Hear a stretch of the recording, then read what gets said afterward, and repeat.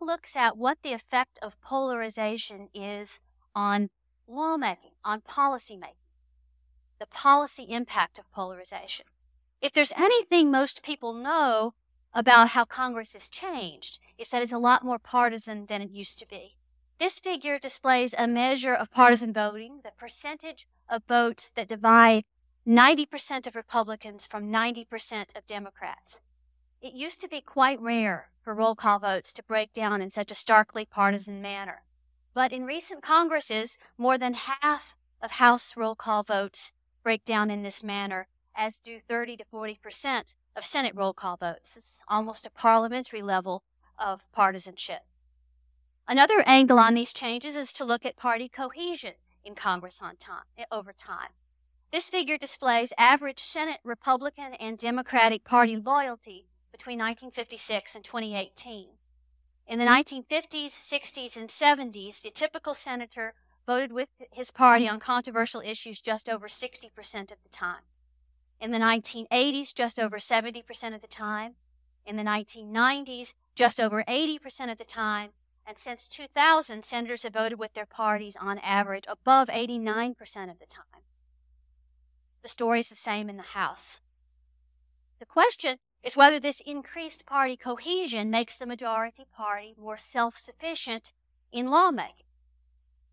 This figure dis- uh, displays the House majority, uh, the co- cohesion of the House majority party over time. So it's the same data I just displayed, but now shown in bar graph.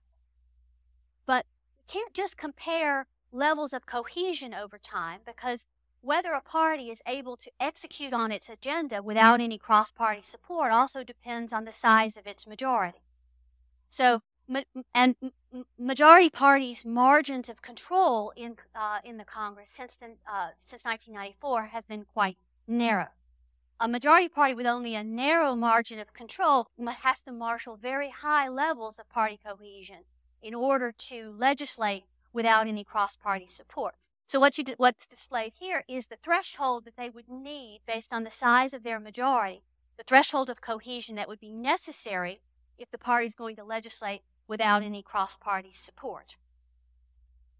The, um, so what you can see here, looking at this graph, is first of all, for most of the time series, cohesion in Congress is not quite high enough to reach that threshold level of what would be necessary to legislate without any cross party support. The huge Democratic majorities in the 1960s and 1970s rarely reached the level.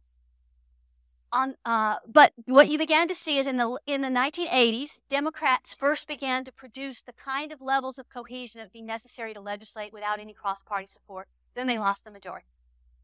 Uh, the Republican majorities of the of the uh, Clinton and Bush years were so narrow that even though they were highly cohesive, they were not cohesive enough to legislate without any cross party support.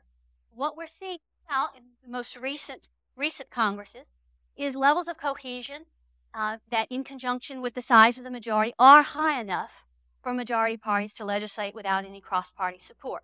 This is for the House of Representatives. I also have the data here for the Senate.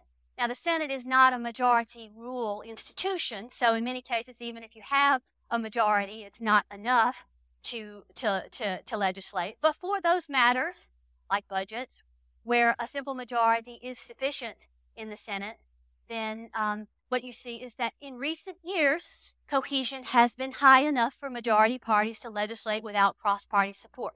Really unusual for the time series. Look how far away from uh, sufficient levels of cohesion the, the uh, Congresses of the 20th century were. Concurrent with this dramatic increase in partisanship, members have instituted more centralized, leadership driven legislative processes that are thought to facilitate partisan lawmaking. Party leaders take a much more assertive role in managing floor debate in both chambers. In the House, this takes the form of restrictive rules that limit or prohibit members from offering amendments to legislation on the floor. Almost all rules today are restrictive and uh, almost are closed to all amendments. So just take it or leave it. No amendments permitted. In the, leaders make much heavier use of their procedural prerogatives to limit um, uh, offering of amendments. And as you can see here, amending activity on the Senate floor has been curbed. More policy development is now centralized in party leadership offices. You can see this from the percentage of uh, bills that that Congress but did not go through a committee process. You, so the, this is the so-called departure from regular order. That used to be that nearly all bills were reported that passed were reported from a committee or had been had seen a committee process. But now just over half of bills go that pass go through a regular committee process. So, given these changes, increased party cohesion and centralization of power in Congress over bill development and then over floor management, majority parties should have strengthened their capacity to enact their policy agendas. But have they? A lot of scholarship suggests that the answer to that question is yes, that there's a, a, a well-known theory in uh, uh, the study of congressional politics called conditional party government, and the argument there is that as parties uh, become more cohesive and polarized from one another, leaders will empower their or members will empower their leaders to um, uh, uh, to uh, you know give them more procedural authority to push through the party's agenda.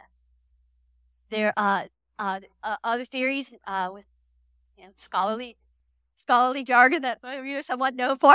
Uh, procedural cartel theory also argues that strength, that more intent, that stronger partisanship, more polarized party, will lead to stronger leaders more able to carry out their agenda.